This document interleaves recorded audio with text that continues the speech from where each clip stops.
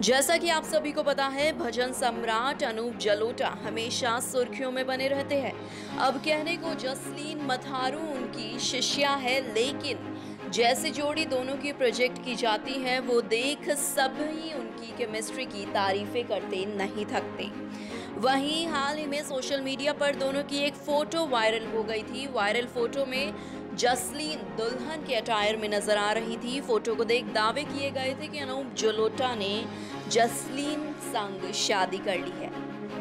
अब खुद अनूप जलोटा ने इस बात की पुष्टि की है। उन्होंने जसलीन संग शादी वाली खबर को बकवास और झूठा बता दिया है। उन्होंने एक इंटरव्यू में इस बारे में पूरी जानकारी दी है। आपको बता दें, अनूप कहते हैं, जसलीन की मॉडर्न ड्रेसिंग हमारे परिवार को रास नहीं आएगी।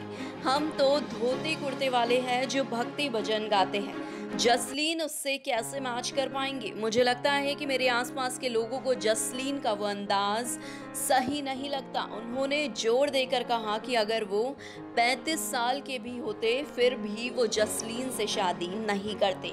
वहीं अनूप बताते हैं कि जब से ये फ़ोटो वायरल हुई है, उन्हें कई लोग बधाइयाँ दे रहे हैं। इस पर वो बताते हैं, मैं तो सीधा कह रहा हूँ, आपको भी मुबारकबाद। अब ऐसे लोगों को क्या ही कहा जाए जो सोशल मीडिया पर वायरल मैसेज को सही मान लेते हैं।